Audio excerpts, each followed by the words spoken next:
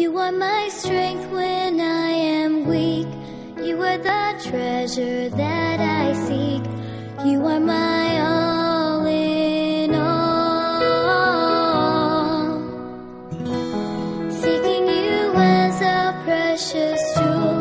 Lord, to give up, I'd be a fool. You are my all in all. I want to talk about my God. This God who died on the cross of Calvary. This God who says, I am the God of gods. There is no other God beside me. Ah, when you read in the book of uh, First Timothy chapter 3, verse 16, the Bible says, without a controversy, great is the mystery of godliness. God was manifested in the flesh, justified in the spirit, was seen by the angels, preaching to the Gentiles, was received up by the glory. Hallelujah. The same God, the same God you call the Son, the same God who was a Father, the same God, He is a spirit today.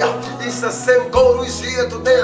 He's the same God who is in me. The Bible says that when Philip asked, Show us the Father, he said to him, Philip, you don't believe that I am in the Father and the Father is in me. Hallelujah. He told Philip that the time will come when you know that I am in the Father and the